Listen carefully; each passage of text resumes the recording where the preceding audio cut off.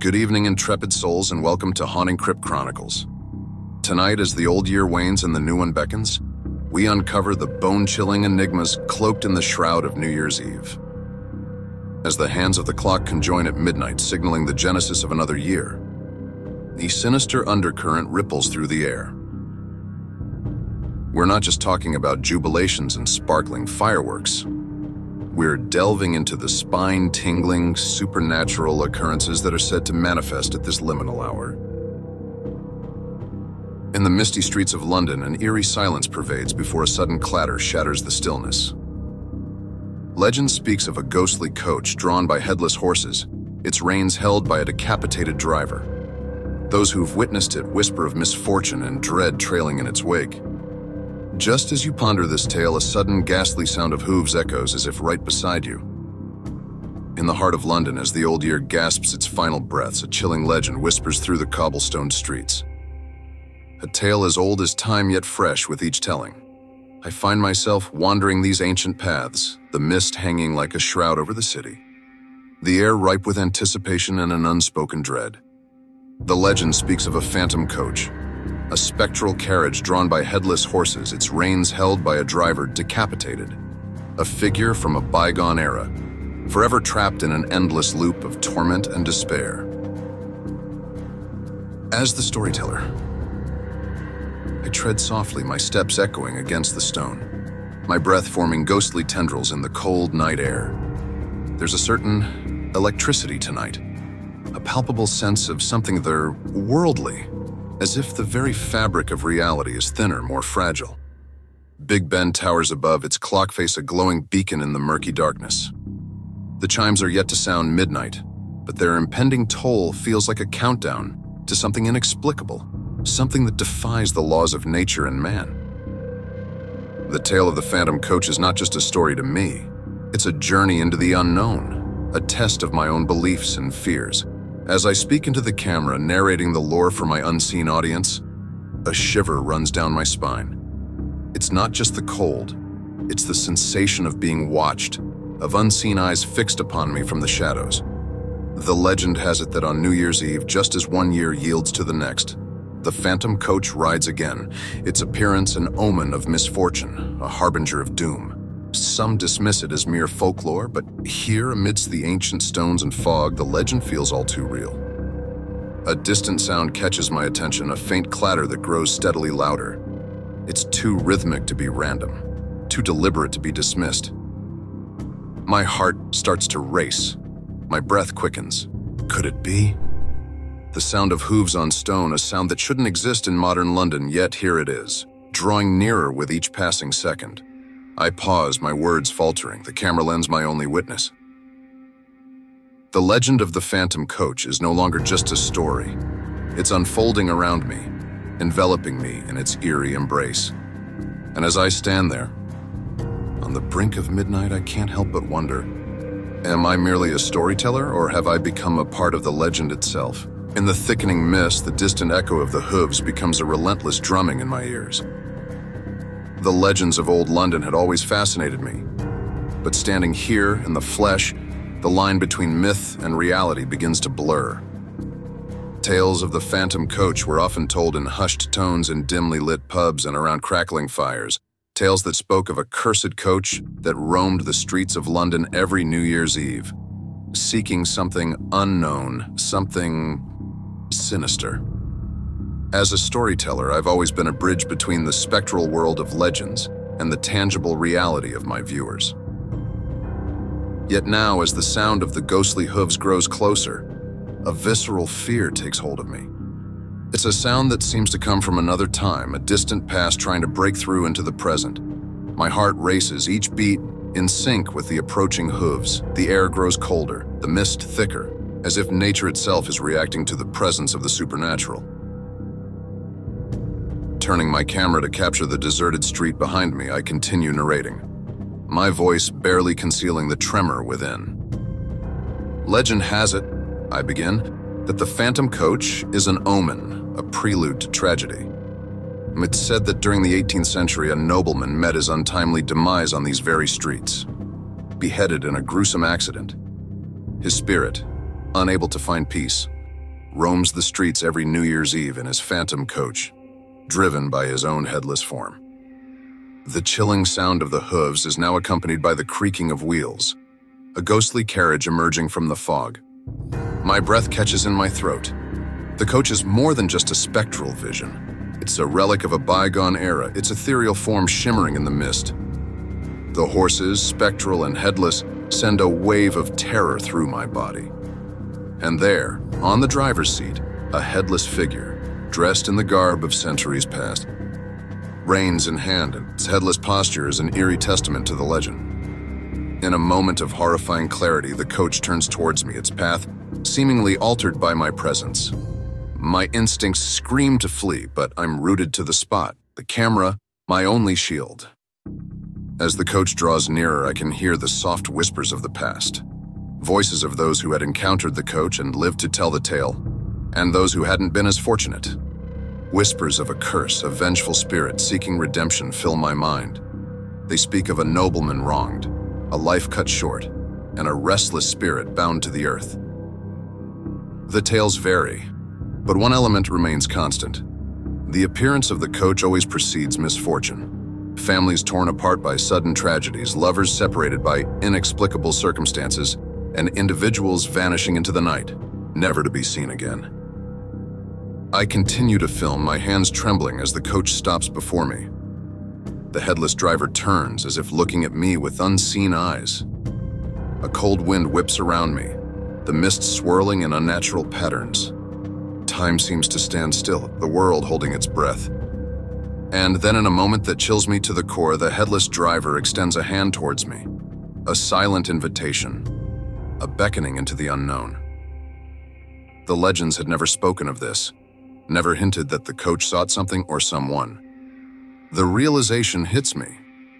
The coach isn't just a harbinger of doom. It's a collector of souls, searching for something lost, something it needs to find peace. In a panic, I back away, my heart pounding against my ribs. The coach lingers for a moment longer, before turning and disappearing into the fog as suddenly as it had appeared. The sound of the hooves fades, leaving behind a deafening silence. I stand there alone in the street, the camera still recording. The encounter with the phantom coach, a legend I had only ever spoken of, now a terrifying reality. I ponder over the meaning of the driver's gesture. Was it a warning, a call for help, or something more ominous? As I gather my thoughts, the distant chimes of Big Ben strike midnight. The new year has begun, but for me, time has lost its meaning. The encounter with the Phantom Coach has opened a door to a world I had always believed was just a figment of folklore. I realized then that my role as a storyteller has irrevocably changed. No longer am I merely a narrator of tales. I've become a part of the legend itself, a living piece of the tapestry of London's haunted history. The camera still in my hand has captured something unimaginable, something that defies explanation. I know that the footage I hold is more than just a record of a supernatural encounter. It's a testament to the thin veil that separates our world from the one beyond, a reminder that some legends are rooted in truths too terrifying to comprehend. As I make my way home, the weight of the experience bearing down on me, I can't shake the feeling that my life has been altered forever. The Phantom Coach, a specter of London's dark past, has marked me. I can't help but wonder what the new year holds for me now that I've looked into the eyes of a headless driver and lived to tell its tale. As the spectral coach fades into the fog, leaving behind a haunting silence, I stand frozen, my mind racing with a mix of fear and fascination. The air around me feels charged, as if I've touched something ancient and forbidden. The reality of what I've just witnessed is overwhelming. And yet there's a part of me that yearns to understand, to delve deeper into the abyss that has just opened before me. Turning off the camera, I wrap my coat tighter around me. The cold suddenly more biting, more real. My thoughts are a whirlwind of confusion and curiosity. The encounter with the phantom coach was more than an eerie sighting. It was a brush with a world beyond our understanding, a world that defies the laws of life and death. As I walk back through the now silent streets of London, the chimes of Big Ben fading into the distance, I can't help but feel that I am not alone. There's a sensation of being followed, of eyes watching me from the shadows. Every whisper of wind, every creak of an old building sets my nerves on edge. The city around me feels different, as if I am seeing it through a new lens, one tinted with the knowledge of the supernatural. R reaching my home, I find no solace in its familiar walls. The footage from the camera, now safely stored away, feels like a ticking time bomb, a record of an event that should not have been possible. The urge to review the footage is overwhelming, but there's a part of me that fears what it might reveal. Finally, I give in to the compulsion. As the video plays, I watch in a mix of horror and awe as the phantom coach appears from the mist. Its ghostly horses and headless driver captured in eerie detail. But it's the moment the coach stops before me that sends a chill down my spine. The driver's outstretched hand is it an invitation or a warning, I cannot tell. And then, as I watch, the footage reveals something I had not seen at the moment. Behind the coach, barely visible in the fog, is a figure. A figure that watches me with an intensity that is almost palpable through the screen. I pause the video, zooming in on this unexpected apparition. My blood runs cold as I recognize the face. It's my own, or rather, a spectral version of me. My eyes hollow, my expression one of sorrow and despair. The realization hits me like a physical blow. The phantom coach was not just a harbinger of doom, it was a mirror to the soul, a reflection of the inner darkness that resides in us all. The headless driver, the restless nobleman, was not just seeking redemption for himself, he was a guide, leading those who witnessed him to confront their own shadows, their own hidden fears and regrets. The figure of me behind the coach, a ghostly echo of my being, represents the part of me that is lost, that yearns for understanding and peace. The coach's appearance was not a random occurrence. It was a call, a beckoning to embark on a journey of self-discovery, a journey into the heart of the unknown. As the video ends, I sit in stunned silence, my mind reeling from the implications of what I've just seen. The legend of the Phantom Coach is more than a tale of ghosts and curses. It's a story of redemption, of facing one's demons and emerging stronger. I know now that my encounter with the Phantom Coach was not the end of the story, but the beginning. A beginning that leads me down a path of exploration, of confronting the darkness within and finding the light that lies beyond.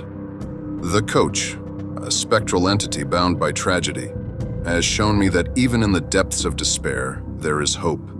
There is a chance for redemption. And as I turn off the camera, a sense of determination fills me. I will share this story with the world, not just as a tale of horror and mystery, but as a lesson in courage and the power of facing one's fears. The Phantom Coach of London, a legend steeped in darkness, has become a beacon of light, guiding me and perhaps others to a greater understanding of the mysteries that lie just beyond the veil of our reality. Our journey takes us next to Japan, where the reverberation of temple bells piercing the cold night air signifies purification from 108 worldly desires. But a darker legend lurks. On the 108th toll, a thin veil parts, allowing spirits to traverse between worlds. Imagine standing there as the bell tolls for the 108th time, your heart pounding, eyes scanning the shadows. Under the moonlit sky of a crisp New Year's Eve, I find myself in the serene embrace of a Japanese temple. The air is crisp, infused with the scent of incense and ancient wood. Here, a tradition steeped in mystery and spirituality beckons the new year. The striking of the temple bell exactly 108 times, a sacred ritual intended to cleanse the soul from the 108 earthly desires. As I set up my camera, capturing the temple's majestic silhouette against the night sky, a sense of solemn anticipation washes over me. I'm about to witness a ritual that is more than just a cultural spectacle. It's a gateway to the unknown, a bridge between the physical and the spiritual realms. My viewers, I know, are waiting with bated breath, their curiosity piqued by the promise of a journey into the heart of a Japanese New Year's Eve tradition.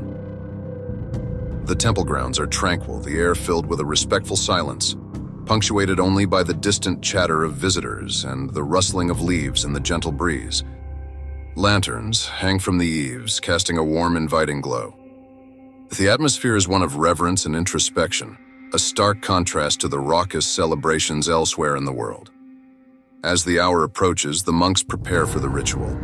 Their movements are deliberate and measured, imbued with a sense of purpose and age-old wisdom. I find myself drawn into the solemnity of the moment, my heart sinking with the rhythm of the preparations. The bell, a colossal structure of bronze, hangs imposingly, its surface etched with intricate designs that speak of history and tradition. It's a symbol of both the end and the beginning, a sonic harbinger of the transition from the old year to the new. The legend, as whispered among the locals and recounted in hushed tones, is that at the 108th strike, the veil between our world and the spirit world thins, allowing a brief moment of communion with the unseen. I share this legend with my audience, my voice a whisper in the quiet of the night. Some say that spirits, both benign and malevolent, traverse this threshold, drawn to the resonance of the bell, I narrate, the camera capturing the play of light and shadow on my face. Tonight we will witness this enchanting ritual, and perhaps, if the legends hold true, experience something beyond our understanding.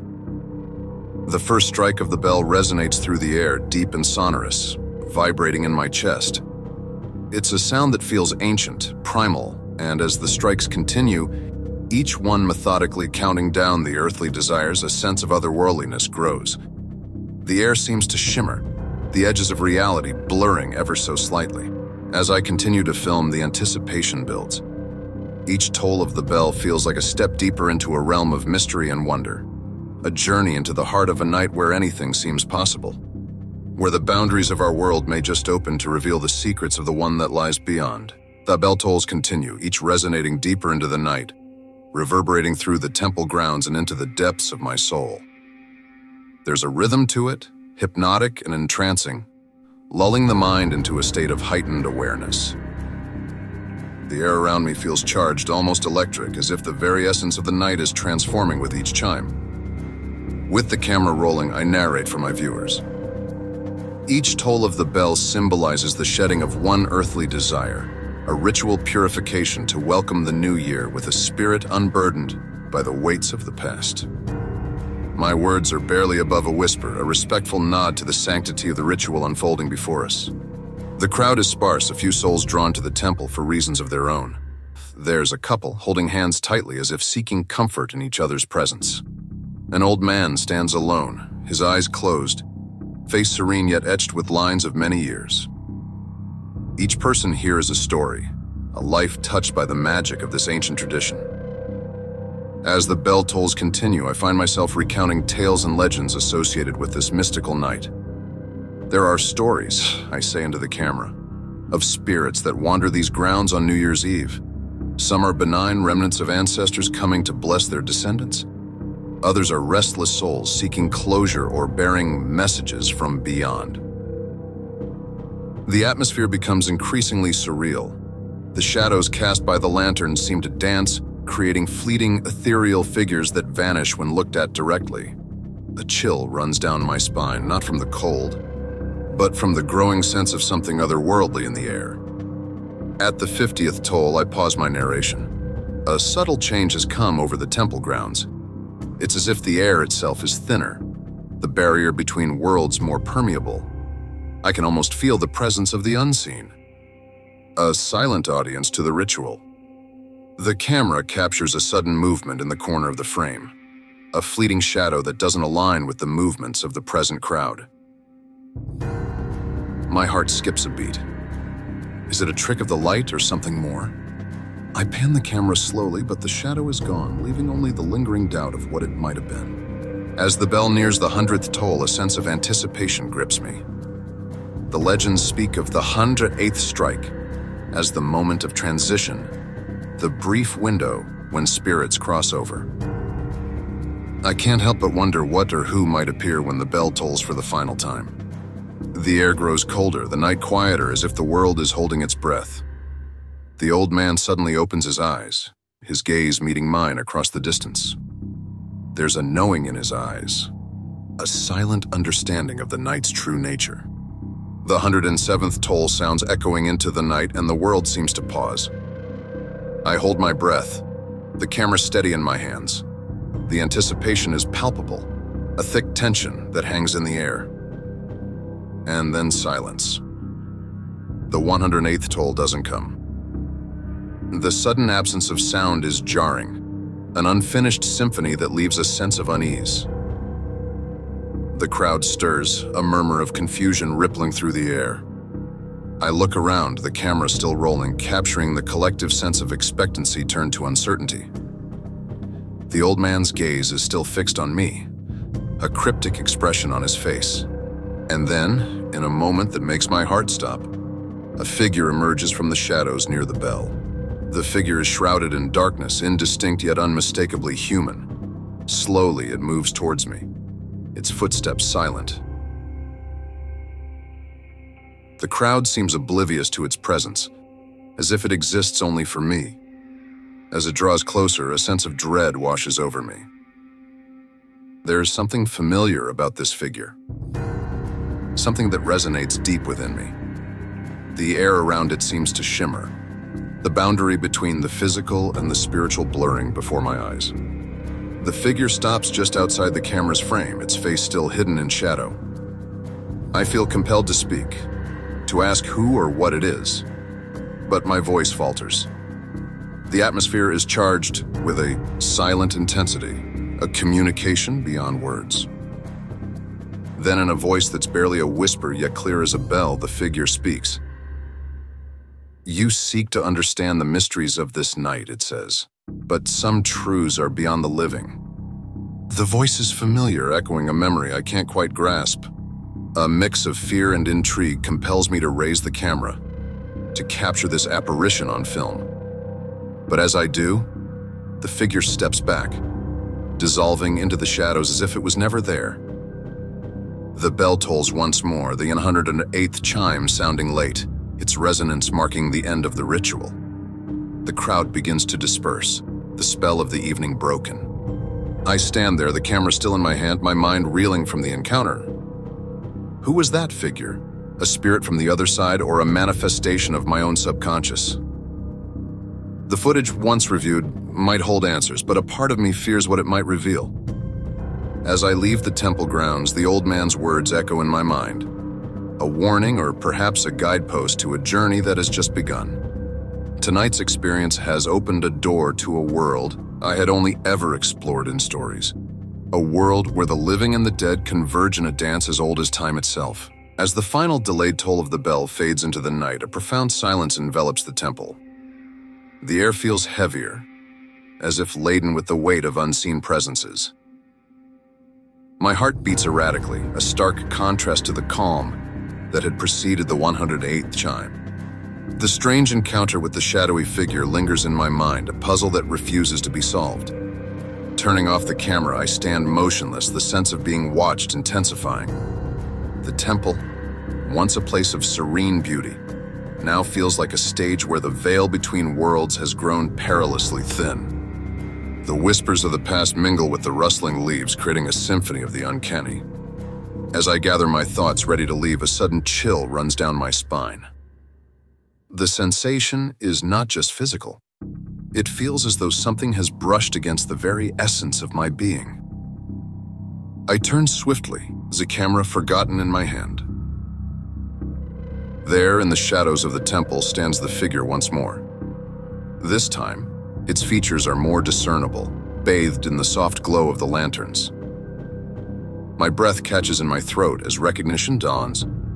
The figure bears an uncanny resemblance to me, but with an ethereal quality, as if it's a reflection from another realm. The figure steps forward, its movements graceful yet somber. You seek answers, it speaks, its voice a haunting echo of my own. But some truths are buried deep, entwined with the roots of your soul. The words resonate within me, stirring memories long suppressed, fears long hidden. I muster the courage to speak, my voice barely above a whisper. Who are you? The figure, a mirror image of myself yet not, regards me with a poignant intensity. I am what you will become. It replies, a traveler between worlds, a seeker of the unexplained. A cold realization washes over me. The figure is not just a spirit. It's a manifestation of my future self, a harbinger of a path yet to be taken.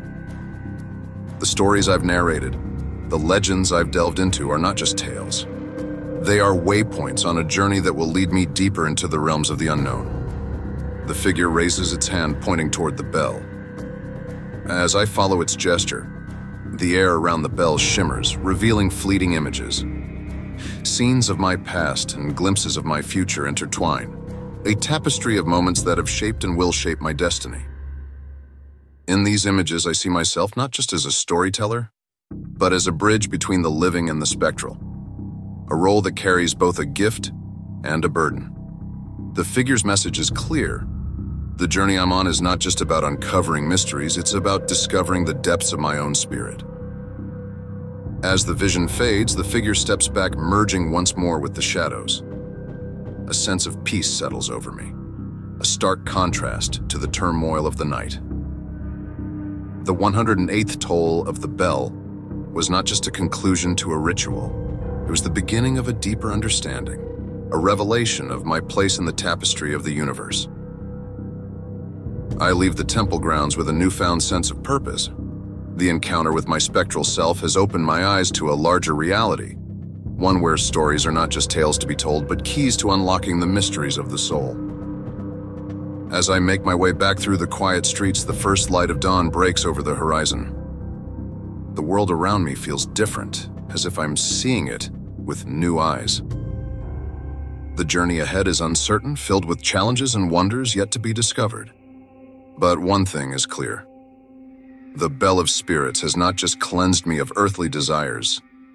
It has awakened a thirst for knowledge, for understanding the unseen forces that weave through our lives.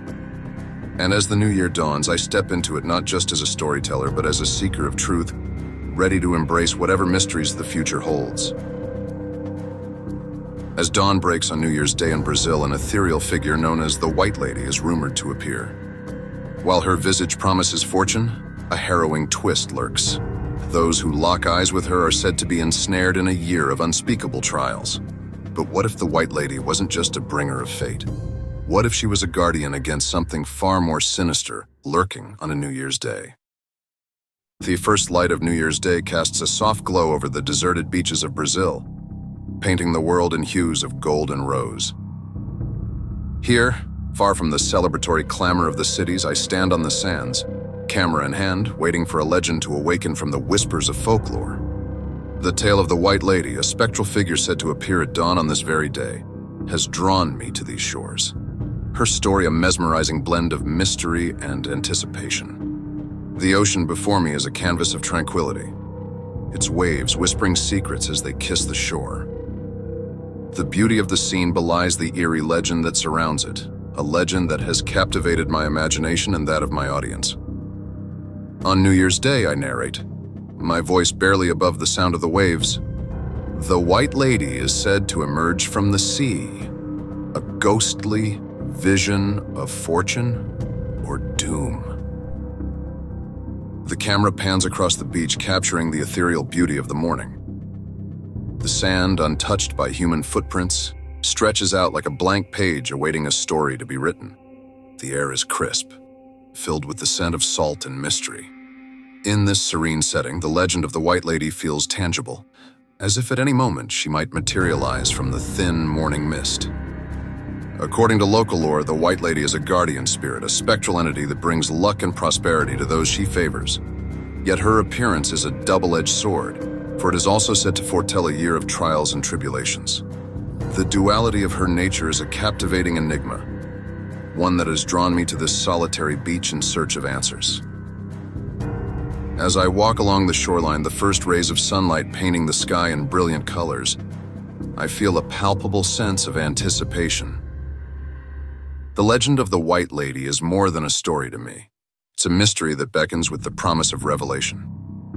I speak to the camera, my words weaving the tale of the White Lady into the fabric of the dawn. Some say she is the spirit of a woman wronged, seeking redemption Others believe she's a celestial being, a messenger from realms beyond our understanding. The camera captures the moment. the anticipation of a legend coming to life. And then, as the sun rises higher, casting its golden light across the sea, a figure appears in the distance. A silhouette shrouded in white emerging from the mist that clings to the ocean. My heart races, the thrill of the legend manifesting before my eyes, electrifying the air. The White Lady, a figure of myth and mystery, is no longer just a tale. She is a reality, stepping out from the pages of folklore into the world of the living. As she approaches, the camera steady in my trembling hands, I know that the story I am about to uncover is one that will haunt me and my viewers for years to come. As the figure in white draws closer, the mist swirling around her like a bridal train. The air seems to throb with an unspoken energy. I continue to film, my narration a whisper against the sound of the waves. Legend has it that the White Lady was once a woman of flesh and blood, her heart brimming with dreams and desires. Yet fate, as it often does, spun a tragic tale, weaving her destiny into the fabric of the supernatural. The White Lady's form becomes clearer, her visage ethereal, almost translucent under the burgeoning light of the dawn. Her eyes, a deep abyss of sorrow and wisdom, meet mine. In that gaze, I sense an ancient pain, a burden carried across centuries. The camera, an extension of my senses, captures this haunting beauty, her presence a stark contrast to the natural splendor of the beach. I find myself drawn to her, each step towards her an echo of a forgotten past. Some stories tell of a love lost, a betrayal that led to her untimely death, I narrate, my voice barely a tremor in the air. Others speak of her as an angelic figure, a guardian who watches over these shores, blessing those she deems worthy and warning those she does not. The beach, once a serene sanctuary, now feels like a liminal space, a threshold between the known and the unknown. The White Lady stops a few feet away, her gaze never leaving mine. A sense of connection, inexplicable and profound, envelops me. The tales of her being a harbinger of both fortune and doom resonate within me, a dualism that mirrors the complexities of human nature. The camera captures this moment, a tangible record of an encounter that defies reality. Why have you appeared to me? I ask, my voice a mix of awe and fear. The White Lady's lips part, but no sound emerges. Instead, a series of visions flood my mind, a silent communication that transcends language. I see images of her life, snapshots of joy and love, followed by scenes of betrayal and heartbreak. Her death, a tragic event shrouded in mystery and pain, transforms her into the spectral entity before me. The vision shift showing her interactions with others over the years. Some greeted with joy, others with fear. The narrative of the White Lady unfolds before me, a tapestry of human emotions and supernatural intervention. She is both a victim and a victor, bound to these shores by a power beyond her control. Her existence, a constant reminder of the thin veil that separates the living from the dead, the mundane from the mystical. As the visions cease, a profound silence falls over us. The White Lady's eyes, once filled with the sorrow of ages, now glimmer with a flicker of hope. In her gaze, I understand the unspoken message. Her appearance is not a mere chance, but a choice. A choice to reveal her story, to impart a truth that transcends time. The camera, still recording, captures the shift in the atmosphere. The sun, now fully risen, bathes us in its golden light, casting long shadows on the sand. The White Lady's form begins to fade, her presence becoming as ethereal as the morning mist. As she disappears, a final image etches itself into my mind. A vision of myself, standing on these very shores, but altered, changed. It's a future where my path intertwines with the supernatural, where the stories I tell become gateways to understanding the mysteries of existence. The beach is silent once more, the magic of the encounter lingering in the air. I stand there, the camera now lowered, a sense of awe and wonder enveloping me. The White Lady's story, her message, has become a part of me, a narrative that I will carry forward. As I gather my thoughts preparing to leave, I realize that the encounter has changed me. The legend of the White Lady is no longer just a tale to be narrated. It's a personal journey, a reminder of the unseen forces that weave through our lives. Her appearance, both a blessing and a warning, has opened my eyes to the deeper truths that lie hidden in the shadows of our understanding. The sun climbs higher, its rays warming the sand and the sea. The day ahead beckons, but the night's encounter has left an indelible mark on my soul. The White Lady, a spectral guardian of these shores, has shown me that the line between legend and reality is often blurred. That stories are not just tales, but windows into the unknown. As I pack my camera, the footage I've captured is a precious record of an otherworldly encounter. I know that this experience will shape my future narratives. The story of the White Lady, with its blend of sorrow and beauty, will be a tale that haunts my viewers just as it has haunted me. Stepping away from the beach, the sounds of the waking world filling the air, I carry with me a newfound respect for the mysteries that surround us, a deepened understanding of the intertwining of the human and the supernatural. The White Lady, a figure of myth and sorrow, has become a beacon guiding me towards a future where the veil between worlds is a curtain to be drawn back, revealing the wonders and terrors that lie beyond. This beach, now empty of the White Lady's presence, seems to hold its breath in the aftermath of the encounter. I stand motionless, the camera off, my mind reeling from the visions and the profound sense of connection. The morning sun, climbing higher in the sky, casts a new light on the sands and the sea transforming the once eerie beach into a place of serene beauty. As I prepare to leave, a sudden uneasy feeling grips me. A sense of something unresolved, a piece of the puzzle still missing. The legend of the White Lady had always hinted at a duality, a bringer of fortune and doom, but the encounter had revealed much more. Her story was one of lost betrayal and an unending search for redemption. I decide to explore the beach once more, the camera now recording, seeking any signs or clues that the White Lady might have left behind. The soft sound of the waves accompanies me, a soothing backdrop to the tumultuous thoughts swirling in my mind. As I walk, I recount the experience to my viewers, the words flowing more as a stream of consciousness. The White Lady, a spirit caught between worlds, has shown me the depth of her tale a narrative woven into the very fabric of these shores. Yet there's a sense that her story is not just a relic of the past, but a living, breathing entity that continues to evolve. The camera pans across the beach, capturing the play of light on the water and the sand. And then, a sudden movement catches my eye. Footprints in the sand, leading towards the sea. Footprints that weren't there before. My heart races as I follow them, the camera documenting each step. The footprints lead to the water's edge and then, inexplicably, veer off to a small secluded area of the beach, a place shadowed by overhanging cliffs. As I approach, a chill runs down my spine.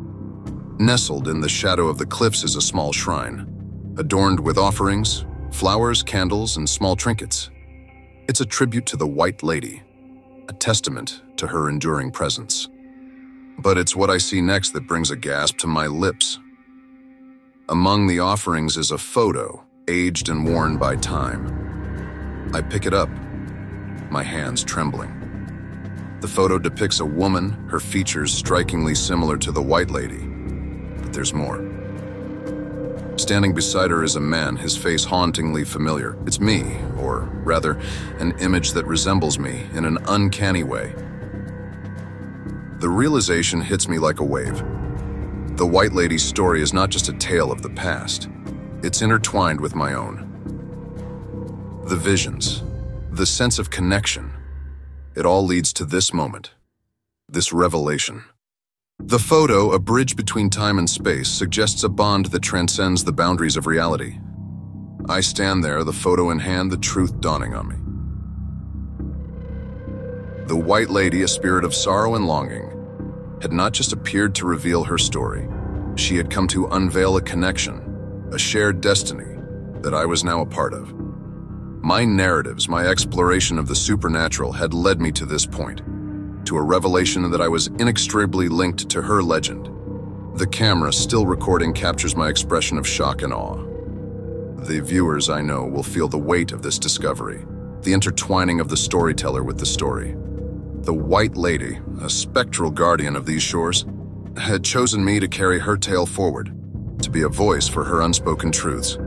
As the sun reaches its zenith, casting a warm glow over the beach, I feel a sense of closure, a peace that comes with understanding. The White Lady's appearance, her revelations, had been a journey not just into the past but into the depths of my own soul. I leave the beach with the photo, a tangible link to a narrative that will forever be a part of me. The White Lady, once a legend shrouded in mystery, had become a guiding light, a symbol of the interconnectedness of all stories, all destinies. The footage I've captured is more than just a record of a supernatural encounter. It's a testament to the power of narrative, to the ability of stories to reveal the hidden threads that connect us across time and space. And as I share this tale with the world, I do so with a newfound respect for the mysteries that surround us, for the tales that weave through our lives, binding us in ways we may never fully understand. As we tread cautiously into the new year, we must ponder. Are these mere tales or windows into unfathomable truths? The most unsettling revelation comes now. As I recount these stories, a chilling sense has enveloped me. I'm not alone. There's a presence here, watching, waiting. Perhaps just like these tales, the line between our reality and the otherworldly is frighteningly thin. Thank you for venturing with us into these nightmarish realms. If this journey sent shivers down your spine, show your support with a like, share, and subscribe to Haunting Crypt Chronicles. Stay brave, stay curious, and may you find light in the darkest of times. Did that story send shivers down your spine? The haunting tales from the crypt are just the beginning, and we have more bone-chilling stories waiting for you. If you've dared to wander into our crypt, ensure you don't miss out on the upcoming nightmares. Hit that subscribe button now and join our community of thrill seekers. Click that subscribe button and become a part of the Haunting Crypt Chronicles family. The shadows await your presence. Subscribe now, and let the haunting continue.